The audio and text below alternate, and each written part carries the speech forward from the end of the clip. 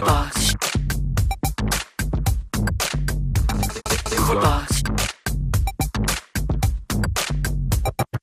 Box. Una tre giorni per parlare di politica, di quello che accadrà il 18 marzo con lo scioglimento dell'NCD che come ha spiegato il Presidente e Ministro degli Esteri Angelino Alfano non lascia ma raddoppia. Una tre giorni dedicata anche all'Abruzzo, una tre giorni che si tiene a Roccaraso non a caso per ricordare la tragedia del 18 gennaio. Non sono ancora concluse le difficoltà e noi saremo accanto all'Abruzzo e agli abruzzesi con tutte le nostre forze, del resto i nostri nostri parlamentari eh, hanno dato veramente grande prova in tutta questa vicenda di essere molto vicini con il cuore ai loro concittadini e di essere loro stessi nel, purtroppo nel, nel, nel dramma che tutta la popolazione ha vissuto senza che loro manifestassero alcuna distanza, anzi io sono testimone al governo di quanto impegno abbiano messo per dare delle risposte pronte. Avere scelto questa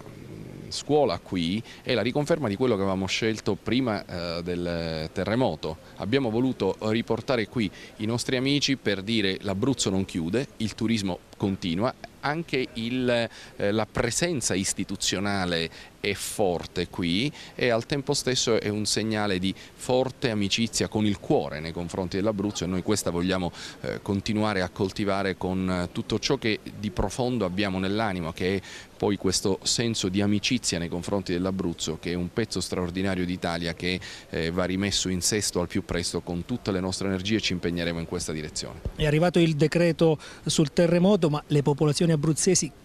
chiedono ancora qualcosa in più per l'Abruzzo per far ripartire questa regione? La nostra linea sull'Abruzzo è trovare un euro in più di tutto ciò che serve non un euro in meno ma al limite un euro in più di tutto ciò che serve. Eh, noi siamo un grande paese, siamo una grande democrazia e siamo un paese che è in grado di affrontare anche queste difficoltà. Eh, abbiamo dato prova in passato di avere dei casi di successo nella ricostruzione, dei casi di successo nel soccorso e noi speriamo che in questa ricostruzione eh, possiamo esprimere il meglio di tutto ciò che la forza dello Stato può realizzare. Questa è la sfida che ci attende adesso in fase di conversione del decreto terremoto. Noi stiamo lavorando perché l'Abruzzo abbia tutte le risposte che servono, che servono per ripartire a cominciare da un allargamento del cratere nel quale i comuni che sono stati maggiormente colpiti dal sisma possano beneficiare delle misure che noi abbiamo previsto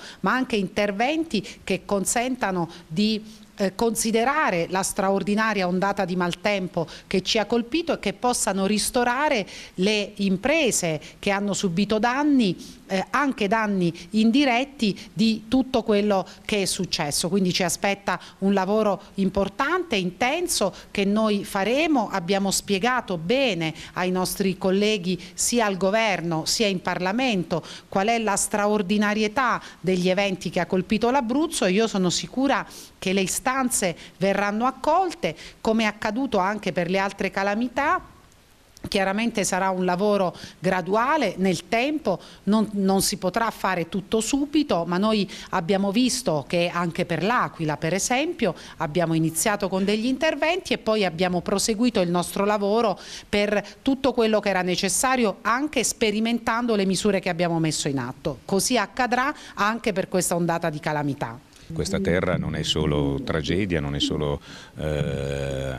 terremoto o, mal, o, maltempo, le conseguenze che, che, bisogna fare. Ci sarà da dare attenzione ogni giorno al, alle centinaia di migliaia di persone che hanno subito questi danni, eh, però è anche ricchezza, è turismo, è qualità, è eh, una regione che tiene sempre alta l'Italia, il valore dell'Italia nel mondo e credo che bisogna tornare a parlare dell'Abruzzo anche per queste cose. Parlando invece di questo appuntamento dal punto di vista politico, politico possiamo dire che oggi ufficialmente si chiude l'esperienza dell'NCD. NCD non lascia ma raddoppia perché noi vogliamo raddoppiare gli sforzi per realizzare quella rappresentanza di quel popolo dei popolari, dei liberali, insomma di tutti quelli che non, non ci stanno ad essere alleati con gli estremisti che vogliono uscire dall'Europa come Salvini e al tempo stesso non sono di sinistra. Questa posizione è la posizione che poi si traduce in un programma molto concreto e molto forte che ha un obiettivo di rafforzare il ceto medio che si è molto indebolito, di migliorare le nostre politiche sui salari perché il ceto medio ha due grandi asset, i salari spesso dipendenti,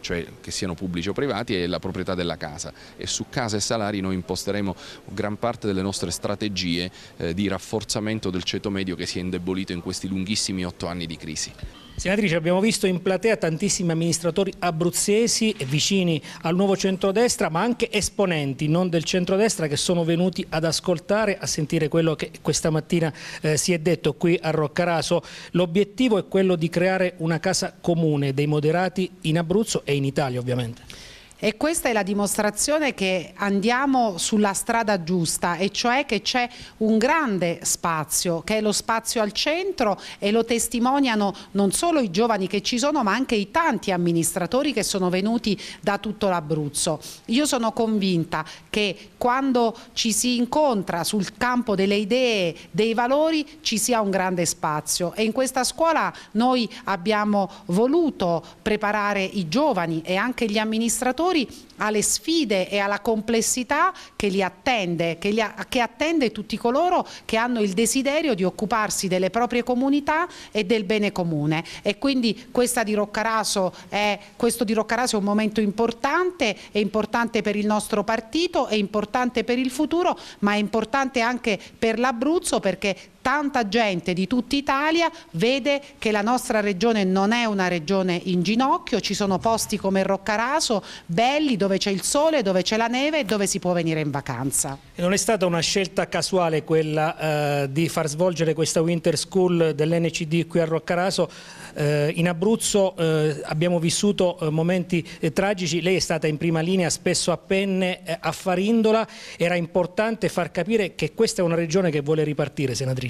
Assolutamente sì, ce lo ha detto anche il cardinale Bassetti, il motore di tutto è la speranza e noi quella speranza vogliamo tenere accesa e questo è il nostro contributo all'Abruzzo a che possa crederci affinché questa regione possa rialzarsi e possa ripartire. Io sono contenta e anche orgogliosa che i miei amici, gli amici del mio partito abbiano deciso di venire qui e di fare qui questa iniziativa importante che ha portato in Abruzzo e a Roccaraso centinaia di persone. Possiamo dire che eh, partono le prove generali per un nuovo centro in Italia? Beh, partono le prove generali per eh, capire e testimoniare che la politica può tornare ad essere la buona politica, cioè quella che mette al centro,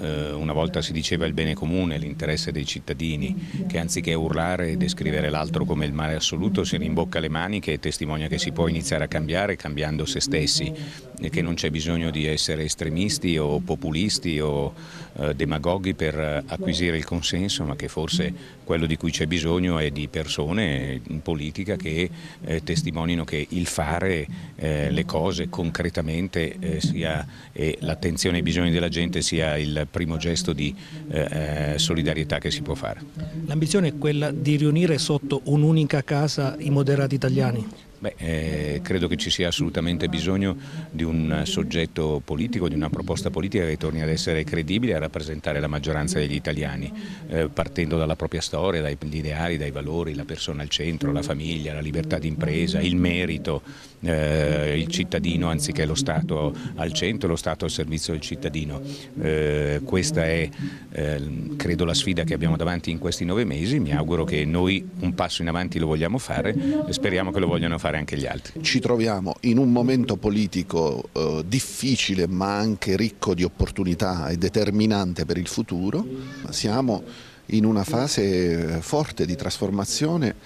della nostra area ma di trasformazione della politica italiana, anche il PD è all'interno di un travaglio, eh, lo stesso centrodestra insomma, è lacerato tra spinte populiste e lepeniste e insomma, la parte più liberale e moderata. Quindi è chiaro che insomma, in questo momento parlare di politica e di quello che sarà il futuro non è assolutamente un fuoritema, ma è importante, è importante per quello che poi rappresenterà questo per il Paese, per l'Abruzzo eh, per tutti i nostri concittadini. A proposito di Abruzzo, cosa succederà dopo il 18 marzo in Abruzzo? Eh, per il nuovo NCD o per eh, il partito o il gruppo politico che nascerà eh, dalle ceneri del nuovo centrodestra? Ma io non credo che succederà nulla, io spero che succederà che ci allargheremo, che riusciremo a fare quello che forse fino ad oggi non abbiamo fatto a sufficienza, cioè a dialogare con altri interlocutori che anche in Abruzzo non si sentono stretti nella scelta manichea tra un centrodestra che insomma si deve ancora riconfigurare e un centrosinistra. Chi si riferisce? Ma ci sono tante persone, ci sono gruppi civici in tanti comuni, regio in regione stessa ci sono alcuni consiglieri che oscillano ma non hanno una collocazione quindi insomma noi apriamo un tavolo per tutti, questo è il senso dell'Assemblea dell nazionale e quello che dovremo riportare sui territori. Dopodiché noi in Abruzzo abbiamo delle alleanze, ci siamo candidati anche nei comuni, in regione, nelle province. Con Però restate all'opposizione di questa maggioranza di governo regionale? Su questo per me non c'è mai stato dubbio e non c'è dubbio oggi. Per chiarire eh, io ho sempre detto io non escludo una collaborazione con la giunta regionale, noi però ci siamo candidati all'opposizione, quindi perché ci sia una collaborazione ci vuole una discontinuità da parte della giunta regionale, cioè il presidente della giunta regionale deve dire che c'è un cambio di maggioranza perché in questo momento lui non è in condizione, non ha l'autosufficienza per governare e allora si può intavolare un discorso in cui noi metteremo in quel caso una piattaforma di condizioni sul tavolo. Secondo lei in questo momento non D'Alfonso non, non è più in grado di governare la regione? Non ha più i numeri cioè? Beh, i numeri in Consiglio regionale non è che me li invento io, sono, sono precari e si sa, eh, le difficoltà ci sono, oggi per me non, è, non lo dico con, con, felicità, ma è un fatto che, che, oggi il Presidente Alfonso è un po' accerchiato anche, insomma, non solo dal punto di vista politico ma anche giudiziario anche se io non do giudizi su questo, però è chiaro che quello che voleva fare lui, ha cercato di fare lui in due anni, cioè una cooptazione ad personam, insomma, no? non può andare bene, cioè, noi siamo una forza politica, ci siamo candidati a sostegno del Presidente Chiodi, abbiamo una posizione autonoma all'interno della minoranza, nel senso che noi su molte cose abbiamo collaborato mentre la minoranza no, ma questo che significa? Sono i problemi dell'Abruzzo, noi non, non, non siamo contrari a delle cose giuste solo perché le fa D'Alfonso, ecco questo no però ecco ripeto da qui a dire alleanza politica un'alleanza strutturale ce ne passa molto. Per me non si è fatto nemmeno il primo passo ecco, bisogna, secondo me bisognerebbe fare un passaggio politico. Ma oggi alla vigilia comunque di una ehm, riconfigurazione delle forze politiche e poi delle elezioni politiche che comunque a febbraio dell'anno prossimo ci saranno io credo che le condizioni per un'alleanza strutturale con la giunta regionale siano davvero eh, pochissime insomma poche possibilità Infobox. Infobox. Infobox.